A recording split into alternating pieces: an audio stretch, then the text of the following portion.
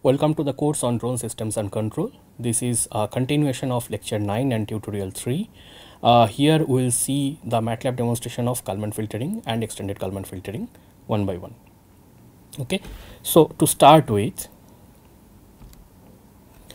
uh, we see that uh, we have gone through the Kalman filtering lectures and we have seen that when we talk about the actual algorithm of Kalman filter, it consists two uh, important steps.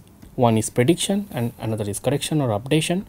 And then the particular step keeps on uh, going uh, with iterations number of iterations. So we repeat the steps for uh, kind of uh, number of times.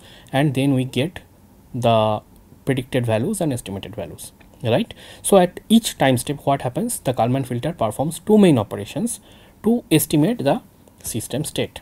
So the estimation of uh, the states are the main function of Kalman filter.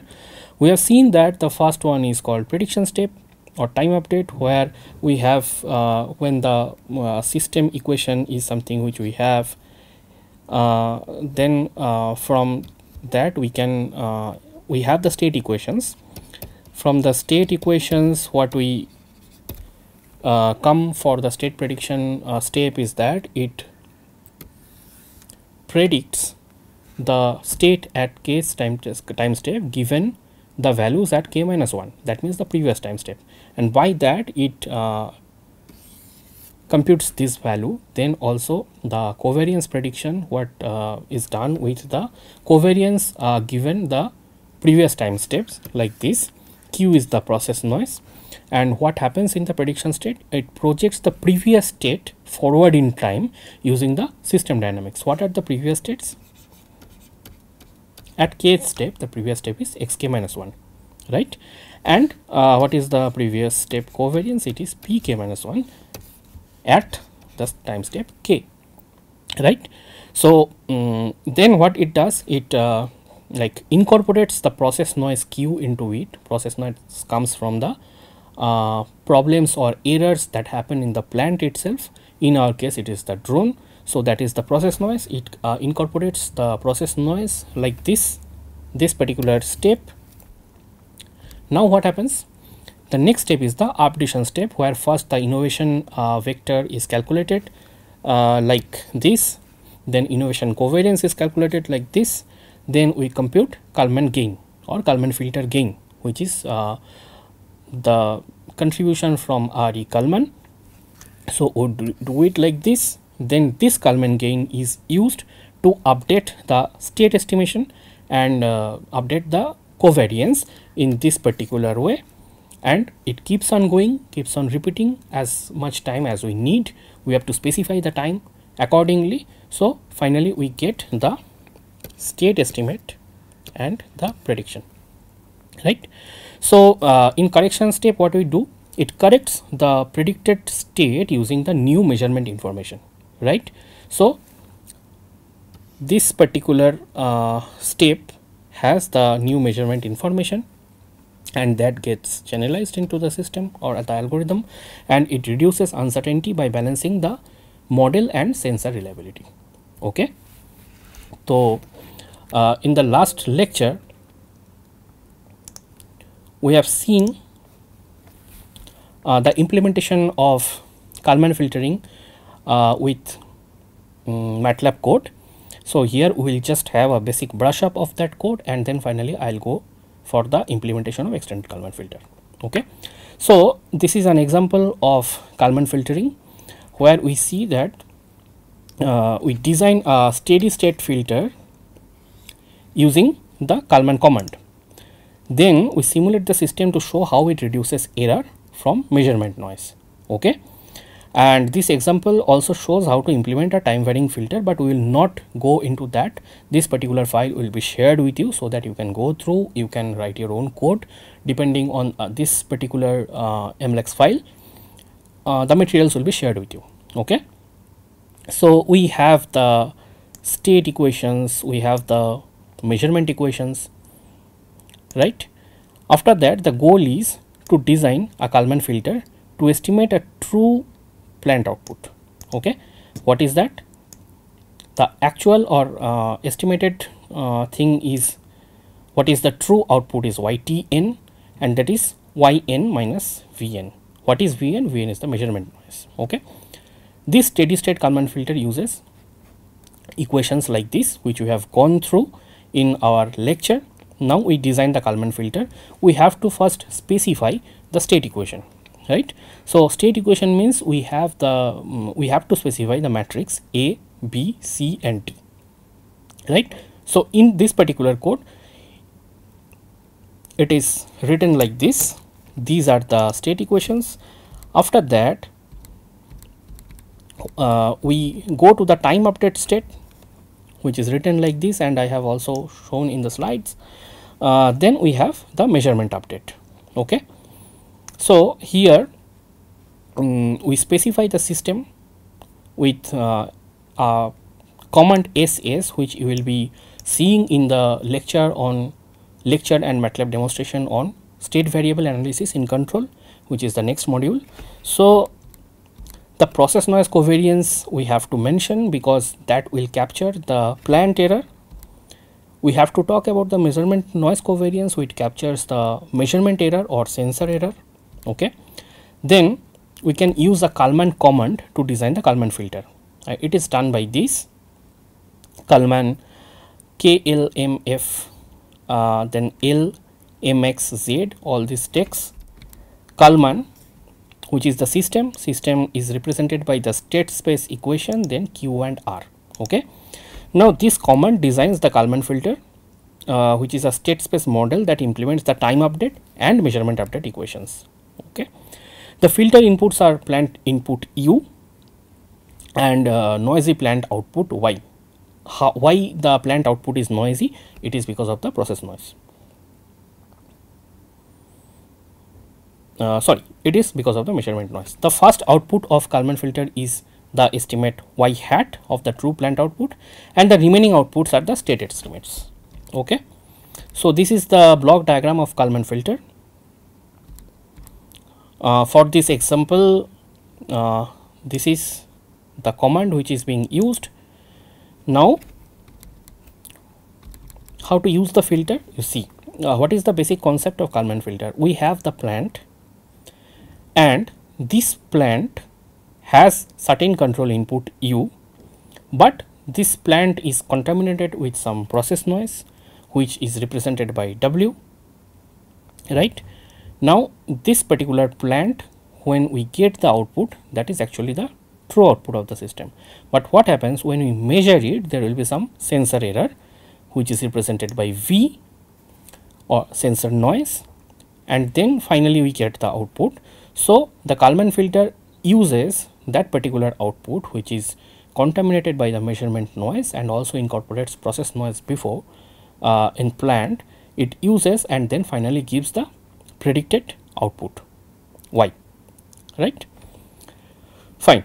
So to simulate this system uh, certain uh, wait yes. Uh, codes or commands of MATLAB are used. Like uh, we in this particular thing we use a code sum block to create an input for the measurement noise here. Right?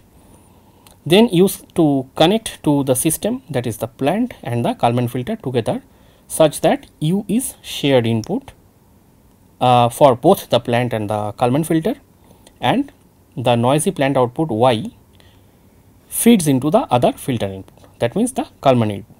So, Kalman filter has uh, two inputs one is uh, the noisy uh, plant output y and another is the actual control input.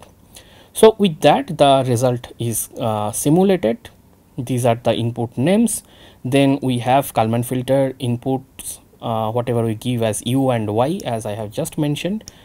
Now, um, we uh, name Kalman filter output as ye which like incorporates the estimate of y we can't get the true value so we are estimating it. Then this is the simulation model. Okay? So to simulate the filter behavior uh, generate a known sinusoidal input vector and that is uh, so for that we need to specify that for how much time the input will be there prevailing into the system and then this is the control input u. Okay? Now we generate the process noise and sensor noise vectors using the same noise covariance values q and r. So we specify the seed then we uh, specify the process noise the measurement noise and finally we simulate the output what is going to be the output of the or response uh, from this this particular command okay? So this command lsim generates the response at the output yt and ye so yt is the true output and ye is the estimated output to the inputs applied at w v and u. So what are the entire system inputs? These are process noise w measurement noise v and actual input u. Okay? And the outputs the plant output is yt that is the true output and ye is the Kalman filter output that is the estimation of the true output. Okay? So we write things like this. We get uh, two outputs. So output 1 is yt output 2 is ye that is the filtered response or estimated response. Then we get the measured response by adding the measurement noise v okay? We can uh, after that we can plot the responses by using these commands like subplot to uh, divide the plot in a grid format or in different windows and then we can plot the responses whatever we want to plot. Right? Okay. So if we see this particular example we'll see that uh, we have a this blue line what the legend is blue is the true estimation uh, sorry the true output true output of the filter uh, sorry the true, true output of the plant and the red one is the filtered output. That means the response of the Kalman filter. Okay? So we see that Kalman filter tries to estimate the true output. Okay? Now when we plot the error then we see that somehow Kalman filter tries to track the plot and the error and that is what the performance is. Now how we can improve the performance of Kalman filter in the lecture itself we have talked about high Q, low Q, high R, low R. So it becomes a perspective where we have to tune the Kalman filter in such a way so that we get the desired performance right. So this is about the Kalman filter. Now uh, what is the summary?